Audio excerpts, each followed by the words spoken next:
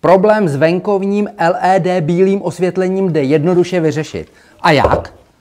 Všechny ledkové lampy mají čipy a přes ty čipy je optika.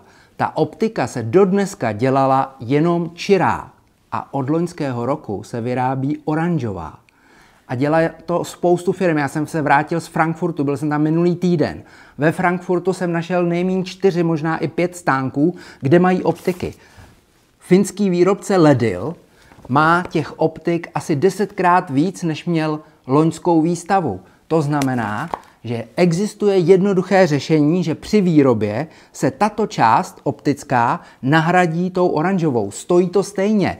Tahle kostička stojí 36 korun, tahle kostička stojí 36 korun. A ve chvíli, když se to instaluje, tak je jedno, jestli zašroubujete šroubek do oranžové nebo do čiré. A my chceme oranžovou. A proč?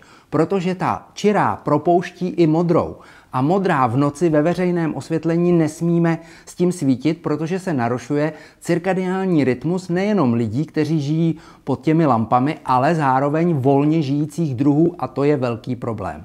A buď to jde optikou, anebo když už je to na těch sloupech, tak se to dá přelepit oranžovou folií. Takže další informace najdete na www.bílesvětlo.cz.